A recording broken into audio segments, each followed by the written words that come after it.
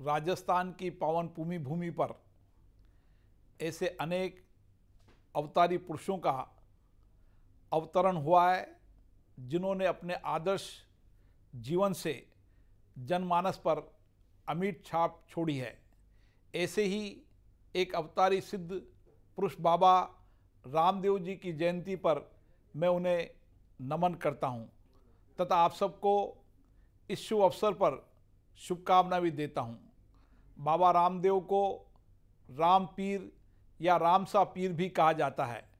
उनका संबंध राज परिवार से था, लेकिन उन्होंने अपना पूरा जीवन शोषित, गरीब और पिछड़े वर्गों के उत्थान और कल्याण को समर्पित किया।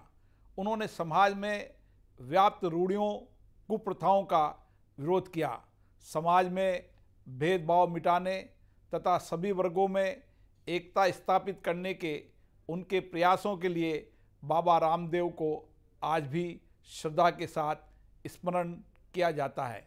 राजस्थान के प्रसिद्ध लोक देवता बाबा रामदेव की ख्याति दूर दूर तक फैली हुई है तथा पूरे दुनिया के अंदर उनके असंख्य भक्त हैं और आज के दिन उनको नमन करने विशेष तौर पर राजस्थान की धरती पर आते हैं।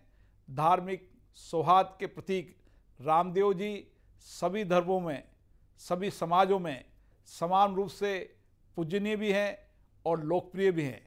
उन्होंने कभी भी एक शासक की भांति व्यवहार नहीं किया, बल्कि उनकी छवि जनता के सुख दुख, पीड़ित व्यक्तियों के न्याय के लिए, उनके सम्मान के लिए रही है। आज इसीलिए राजस्थान नहीं, पूरा देश बाबा रामदेव जी की जयंती मनाता है। मैं बाबा रामदेव जी के चरणों में सशत नमन करता हूँ। हम कोशिश करें कि उनके जीवन के आदर्शों को आत्मसात करते हुए आज नए समाज में परिवर्तन के संकल्प लें।